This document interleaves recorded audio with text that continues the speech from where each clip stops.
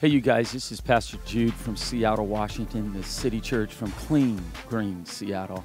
You know, I think this conference is so important with so many students on campuses throughout the Northeast. Really, you are the hope of our nation, the world, and the hope of the church. You are the leaders of this generation.